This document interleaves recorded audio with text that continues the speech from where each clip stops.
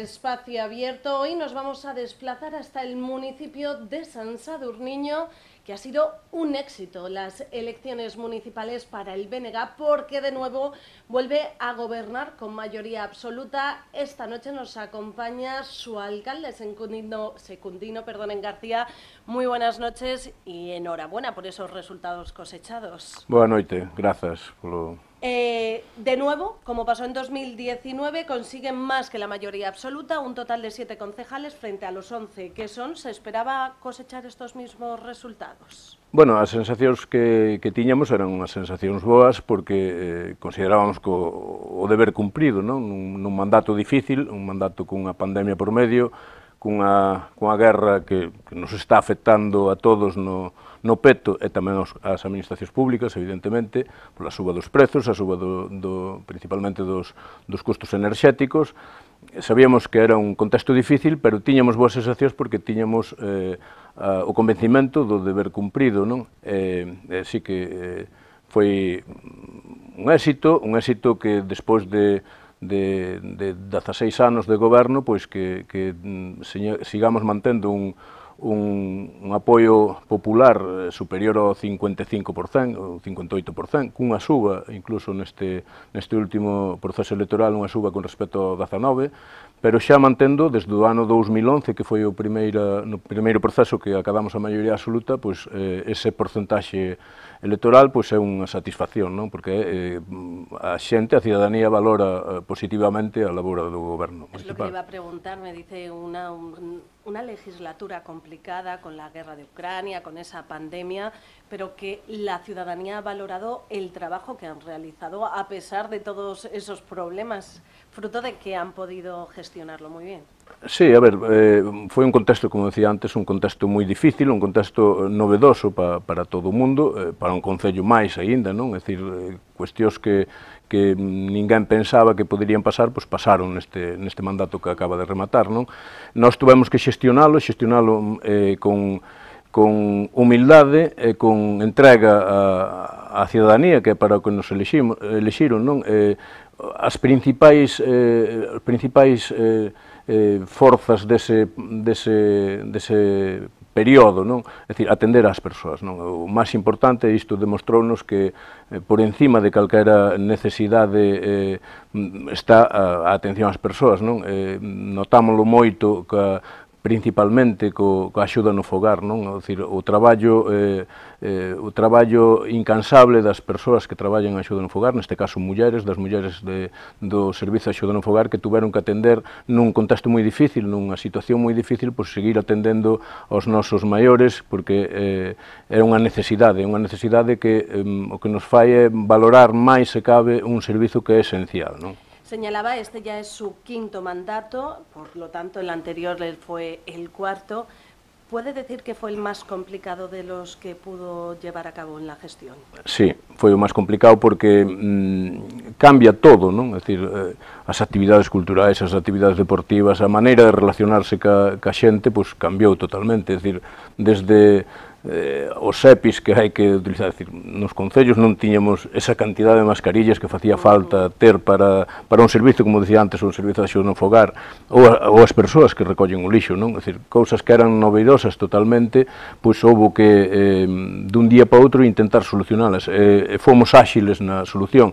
En moitos casos, sin o acompañamento de, neste caso, a Xunta de Galicia, que é a administración con máis competencias que, que, que afectan aos cidadáns galegos, pois eh, moitas veces pois eh, lonxana, non? É dicir, eh, a Xunta de Galicia queixándose do que pasaba en Madrid, pero eh, sin, sin mirar que aquí nos concellos que, que necesitábamos, tiñamos moitas necesidades e non, e non as resolveron. Por poñer un exemplo, tuvemos que limpar, ou, ou temos que limpar, eh, non? Ainda o pabellón poliportivo municipal, porque había que manter grupos burbulla no colexio, e tiñan que utilizar os pequenos e as pequenas o, o o pabellón polideportivo para, para os recreos, para, para facer os grupos burbullas, e tuvamos que asumir ese gasto o propio Concello. A Xunta de Galicia non tuvo en consideración que se incrementaban sustancialmente os gastos dos Concellos eh, para poder sufragárllos. Non?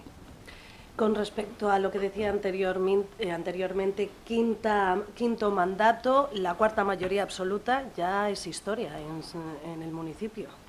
Sí, a ver, a historia é, un, é, historia porque non houve hasta ahora ningún goberno que tuvera catro maiorías absolutas seguidas, non? E eh, tanto eh, tiempo, yo non sei... Sí, bueno, San Sadurniño non creo. O último goberno do PP estuvo por aí, o bien? último goberno do PP estuvo por, por, ese, por ese tempo, Dios non? mío, la gente que se pone, quien gobierna aí, e no, no, no se quita.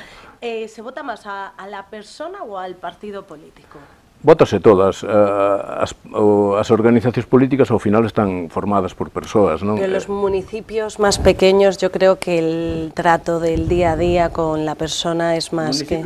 Municipios máis pequenos son casi como os municipios máis grandes, é dicir, a xente vota por unha xestión, se está ben xestionado, se, se a xente lle solucionan o día a día, se lle solucionan os problemas que ten, eh, pois a xente pois, respalda aos gobernos. Eh, a xente, ao final, eh, seña un municipio pequeno, un municipio grande, existe dualidade, a xente sabe sabe perfectamente por quen vai votar, sabe perfectamente quen é o que o responsable dun, dun, dunha competencia ou non, é dicir, evidentemente a xente ben sabe que, que que o, o Concello non é o responsable de, de, da suba dos custos enerxéticos. É dicir, a xente sabe que o Concello é o responsable da limpeza viaria, é o responsable uh -huh. de ter un servizo axuda no fogar pois, eh, eficiente, eh, sabe que, que o Concello que organiza as actividades culturais, deportivas, o que dinamiza eh, o día a día no Concello, pero tamén sabe que non é o Concello que lle suba as pensións. É dicir, a xente sabe distinguir. ¿Quién gestiona aquí? Eh, sacaron siete concejales, el BNG, uno el Partido Socialista y tres el Partido Popular, igual que en 2019. Las cosas estaban claras en San Sadurniño. Sí, parece ser que a xente veu... Inamovible. Eh, veu, claro, subimos un pouco... Bueno, pero... Subeu, eh, subió, un pero... medio, non? De pero bueno, los concejales, sí, aunque ya sé que una cosa es los votos, número de votos, pero al final lo que queda es, es esto y, y, y se ve que, que, no, que no ha variado. Gobierna desde el 2007 en San Sadurniño. ¿Qué diferencias va a haber con respecto a estos años anteriores en esta nueva legislatura? Bueno, neste, no, neste novo mandato, nos concellos son mandatos, Mandato. non legislamos hasta ahora os concellos, ainda que deberíamos en algúns casos a mellor legislar, non? pero Eh, neste mandato novo temos moitos retos, non? Temos retos que nos enseñou este mandato que pasou, non? É dicir, eh, eh facía fincapé antes, non? É dicir, a atención ás persoas é clave, é dicir, temos que reforzar máis se cadra o, os, servizos, os servizos que presta o Concello a dependentes. Non? Son competencias compartidas, estamos neste momento todo o municipalismo galego demandando da Xunta de Galicia que realmente pague a prestación do servicio, é dicir, os, as horas que se lle prestan a un gran dependente, a unha gran dependente, eh, a Xunta financia 12 euros por hora. O precio desa hora real sae en 20, 20 e pico euros. Non? É dicir, se tes eh, un servizo prestado directamente, como ten o Concello San Sadurniño, pois anda sobre 22 euros hora. Por lo tanto, ese desfase estamos exixindo da Xunta de Galiza, e a Xunta de Galiza terá que exixir do Estado, que é o que recauda os impostos da xente, pois que se transfira ese, ese, os cartos necesarios para poder prestar as horas necesarias á xente, porque senón o que facemos é asfixiar económicamente os concellos, como se fixo, por exemplo, co, coa gratuidade das escolas infantis. Un día o expresidente da Xunta, o señor Feijó, levantouse pola mañán, ocorreuselle que as escolas infantiles en Galicia tiñan que ser gratuitas, que é unha boa idea. Moi buena idea. Unha boa idea, sí, pero unha boa idea, eh, eh, normalmente unha persoa cando invita a algo paga. É dicir, é boa idea, pero teria que pagalo, non? É dicir, unha boa idea que ao Concello suponlle 50.000 euros de gastos máis. É dicir, 50.000 euros que hai que detraer de outros servicios que son competencias municipais. Nós estamos de acordo de que a escola infantil tiña que ser gratuita. Tamén o que demandamos é que a escola infantil a xestione a xunta. Tuvémoslo que facer porque a xunta na facía. Nas, nas zonas rurais tamén temos dereito temos dereito eh, a ter un servizo de conciliación como é unha escola infantil, non? Para que as persoas que queiran decidir vivir no, nun concello rural, pois eh, o feito de ter donde deixar os pequenos eh, eh, faga que poida vivir no, donde, donde quere, non? El hecho de la pandemia ha hecho que aumentara el número de población en San Sadurniño, porque mucha gente ha querido huir de las grandes ciudades, irse a zonas más rurales, mm, máis cercanas al medio ambiente e máis cuidadas. Sí, a ver, eh, na, naqueles momentos, nos primeiros momentos, sí que se notou, había xente que, que retornaba, incluso no, no momento do confinamento, pois, vivir nunha zona nunha zona rural pois é máis cómodo, non? É dicir, uh -huh, estar encerrado nun piso eh, uns meses pois é moi debe ser moi duro, non? Eu non, non é o meu caso, pero debe ser moi duro, houve sí que houve xente que uh -huh. naqueles primeiros momentos retornou ou se plantexou, replantexou a súa vida, incluso xente que estuvo mirando para retornar, para comprar mercar vivendas. Naquel primeiro momento, mm, mm, ralentizouse tamén iso, non? Porque eh, nunha zona rural a erva hai na que segar, non? A erva non é, non é césped artificial e todas estas cousas, entón houve xente que tamén se deu conta de que, desas, que, que esas cousas tamén as hai que facer, que non é, non é todo, eh, todo jauja, non? Como se di, pero Pero sí que hai, eh, nós estamos mantendo, mantendo poboación, cun lixeiro descenso, pero moi pequeno, mantendo poboación, principalmente, tamén non hai que recoñecer, non? principalmente porque somos unha zona mm, prácticamente periurbana de, de, dunha, dunha gran cidade como Ferrol, non? eh, iso fai que vivir en San Sadurniño xe cómodo. Estamos o, a, a 20 minutos das Pontes e eh, 15 minutos de Ferrol, non? Uh -huh. eh, e das zonas industriais de Ferrol Narón. Entón, vivir en San Sadurniño é, zona, é un sitio cómodo, non? Entón, iso fai que manteñamos a poboación, non? Con respecto al novo goberno tuvo lugar el sábado 17 ese pleno de Constitución, que tal foi? Pois foi ben, eh, tuvemos sete votos, tuve eu sete votos para a alcaldía, o PP 3 e o PSOE 1. Eh, era de esperar, non? Nun, nun... Me refiero en esos plenos en los que pues entiendo que, que pues, da un discurso, non? No, sí, nos... a ver, eh, no que eh, a solemnidade dun pleno de Constitución, que a, a culminación dun proceso, dun, dun proceso de, de participación veciñal real, non? Donde a xente realmente vota por, uh -huh. por quen quere que, que lle dirixa os seus destinos, pois, uh -huh. eh, o, que, o que foi un pleno protocolario donde eh, por parte de todos os grupos se, se, se mostrou a, a, a intención de todos os grupos, uns desde o goberno e outros desde, desde a oposición, pois de traballar polo ben común de San Sadurniño, que é para o que nos elixeron. Non? Nos, eh, como goberno, pois ofrecemos a, ao, ao resto dos grupos colaboración eh, eh, pola nosa parte que estamos dispostos a, a, a recoller todas aquelas eh, cuestións que eles poñen encima da mesa porque non deixan de ser representantes populares tamén eh, valga a redundancia tamén os do PP representantes populares eh, de, da xente sen Sadurniño eh, pola nosa parte abertos a, a, ao diálogo. E nos o que esperamos de, do resto dos grupos é, eh, como dicía, eu penso que era Churchill, non? que non era un santo da miña devoción, pero decía a la oposición. Con respecto a la nueva confección del gobierno, ¿va a haber cambios? Cambios vai haber porque hai eh, houve certa renovación no grupo de goberno, hai dúas persoas novas, eh, esas dúas persoas xa van a ocupar eh, dúas concellerías novas, non? Eh, basicamente o resto do, das concellerías pois, eh, sigue máis ou menos como coas funcións que tiñan na, no anterior mandato. Entiendo que dentro de unos días habrá ese pleno de organización. Sí, o pleno de organización temos pensado facelo o día 4 de xullo. Eh, esta semana temos un pleno que, eh, que penso que mañán xa para, para ele, elexir as mesas e despois... Eh, despois temos o festivo local que en San Sadurniño é o luns que ven, entón posiblemente o martes que ven ou o mércores da semana que ven pois fagamos o pleno xa de, de organización. Dese el festivo local e de la fiesta vamos a hablar posteriormente, pero vamos a centrarnos ahora un poco más en esos resultados electorales. Si nos fijamos más en, en Galicia, aquí en la comarca, el Partido Socialista ha bajado y el BNG ha subido está cogiendo cada vez máis forza. Sí, a ver, o Benegas o, eh, tuvo na comarca Ferrol tuvo uns resultados eh, moi bons, uns resultados onde mm, consolidamos as dúas maiorías absolutas que tiñamos, Moeche, tanto Moeche como San Sadurniño, unha, unhas maiorías absolutas, con, como decía antes, con un respaldo bastante amplio uh -huh. da ciudadanía.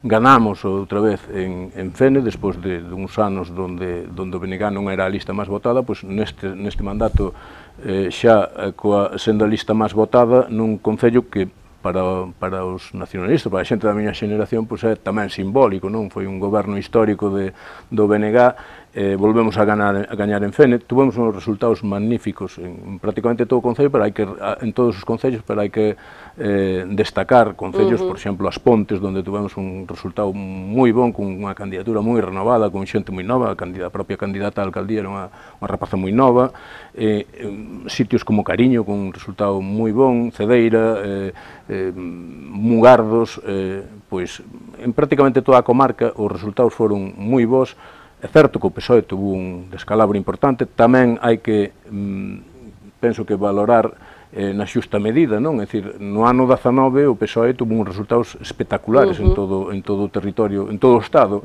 eh, traducido tamén na comarca Ferrol con resultados espectaculares. Eh, posiblemente eh, o desgaste do goberno central tamén lles afectara. Eso, eso es lo que le iba a preguntar, si creía que Pedro Sánchez, el goberno central, tiene algo que ver y ya en col a colación de esta situación, ¿qué le parece ese anuncio de esas elecciones generales para el mes que viene?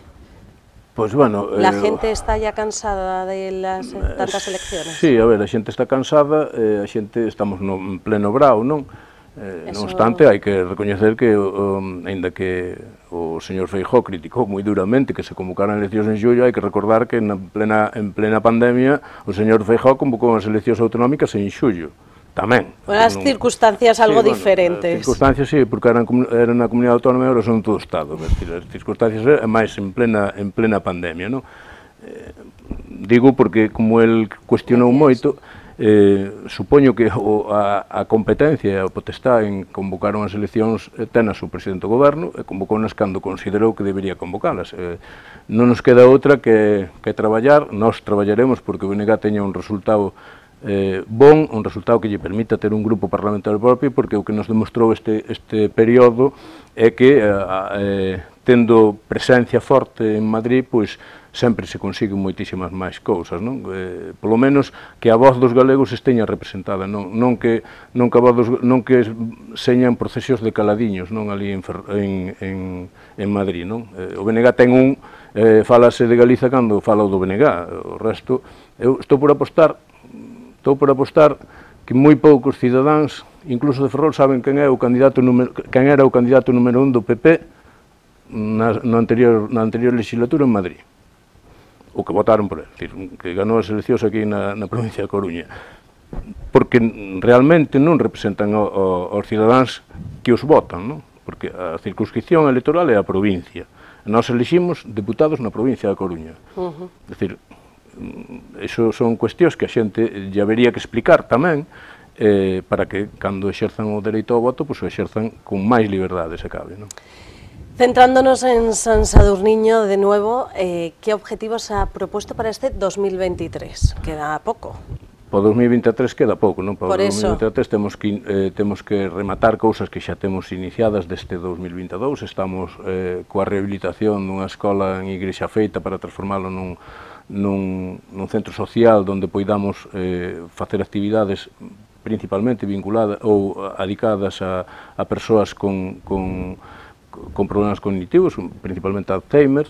Eh, temos eh, en marcha eh, bast bastantes proxectos, de, principalmente do POS, eh, Fondo Ambiental, todos estes proxectos que temos que eh, ir rematando e xa planificando o ano que ven, non? a partir de a partir de que remate, de que pase este brao, este brao electoral marcado polas eleccións e tal, pois eh, temos que poñer xa a traballar nos orzamentos do ano que ven, non? O sea, uns uh -huh. orzamentos, porque os orzamentos do ano 23 foron uns orzamentos eh, pois eh, non se sabía aínda, estábamos aíndo dunha pandemia, non se sabía aínda como iba a ser, pero bueno, xa se normalizou afortunadamente a situación sanitaria, entón hai que volver a, a, a, a enganchar non todo todo o que é o funcionamento ordinario dun concello. Non? Por otro lado, se ha reiniciado el periodo de exposición pública del proyecto del Parque Eólico de Moeche y van a presentar alegaciones desde sí, San Sadurniño. Si sí, van a presentar alegacións porque houve unha modificación pequena, non, non está físicamente en ninguna máquina en San Sadurniño, pero afectanos porque hai unha máquina que está perto do, da, do límite dos dous concellos e afecta a dous núcleos, non? O, o núcleo de Vilanova e o núcleo de Mandrá, non? Vamos eh, informar os veciños e facer unhas alegacións porque consideramos que eh, non hai por que monter eh, eses, esas máquinas perto da, da, de onde vive a xente, non? Por outro lado, como va esa senda peatonal de Ferreira de Arriba? Tamén Moech está diciendo que está haciendo las obras por su parte. ¿Va a finalizar en un par de semanas? ¿Va a estar todo listo? Sí, eh, a ver, eh, hai un, estamos facendo un, uh, pavimentando un vial que o, desde, a, desde a Camba en Ferreira ata o fondo de Moche, que é un vial que o vial de saída natural do, das parroquias do fondo de Moche para pa acceder ao castelo de, de Moche un dos sitios máis máis cercanos non? Uh -huh. eh, é unha, un vial que mitad de, do Concello de Moche e mitad de San Sadurniño está neste momento rematando a obra estáse facendo tamén unha obra en, en Ferreira de Arriba no chao de San Cristobo que é unha senda peonil ata, desde a estrada provincial ata o campo da festa non? a senda peonil é, é pavimentación da, do vial que dá acceso ao campo da festa tamén, que tamén se rematará eh, en breve, non? Estará listo para el verano, para ya aprovechar y hacer esas visitas. Estará listo para San Cristóbal, que é a patrón de Ferreira de Arriba, que é o día 10 de, de xullo. ¿Cuándo, cuándo? El 10 de xullo, por, por, ese, por ese fin de semana. Y también le, me gustaría preguntarle por ese pacto comunitario Lavadoiro que se diseña un protocolo para ponerlo en marcha, el, poner en marcha esos puntos violeta aprovechando las fiestas. ¿Cómo se encuentra? Pues están traballando niso, é un, un, un grupo de, de persoas, eh, mulleres e homes, que, que están facendo un traballo pois, moi bon, un traballo colaborativo moi bon, e o que van facer é aproveitar todas o, as festas que teñan certa entidade en San Sadurniño, o Festival do Río Castro, eh, as feiras rurais, bueno, todo, todo que son eventos que teñan... Eh, eh, que señan xa dunha dimensión considerable, pois eh, poñer os puntos violeta para eh, concienciar, basicamente concienciar, pero tamén axudar a, as persoas que necesiten, neste caso mulleres. Non? Una de las preguntas que le tengo que hacer obligatoriamente es, tras conocer que el Cabo Ortegal ha sido denominado Geoparque Mundial, ¿qué va a suponer esto para el municipio? ¿Cree que va a aumentar el número de turistas? o que é Xeoparque non é o Cabo Ortegal. O Cabo Ortegal é unha parte do Xeoparque, é o complexo xeolóxico do Cabo Ortegal, chamado así xeolóxicamente, que é eh, unha parte de San Saturniño, forma parte dese, uh -huh. dese espazo eh, eh, xeolóxico, non? que vai supoñer, bueno, pues é un, un, un reto importante, é un reto porque é unha distinción da UNESCO, unha distinción mundial, unha distinción que nos vai mm, poñer no mapa tamén eh, eh, desde o punto de vista xeolóxico, non? iso ten, eh, ten trascendencia sin ir máis longe nun turismo, non? están falando, eh, despois da pandemia empezou a falar da necesidade de, da, da transformación non? nun turismo, de ir a avanzar cara a un turismo sostible, un turismo non de masas, senón un turismo de máis calidade e tal.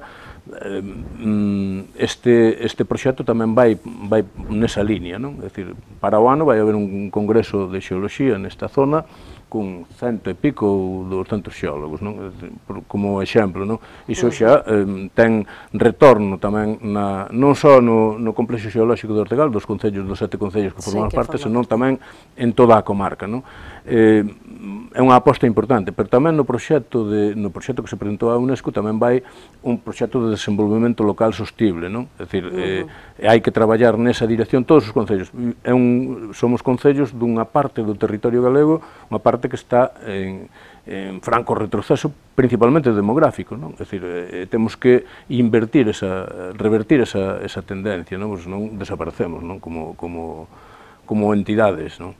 Y nada, en julio ahora, nada más empezar julio, empiezan esas xeorrutas. Sí, eh, hai un, moitísima cantidad de xeorrutas en todo o territorio, xeorrutas máis largas, máis cortas, eh, moi interesantes, eh, eh, o que nunca fixar eu animo a que a que a xente eh, se, se apunte e fagan xeorrutas, esas xeorrutas que están diseñadas porque paga a pena, non? É unha parte da nosa, do noso patrimonio, neste caso o patrimonio natural, que, que paga a pena coñecer, non?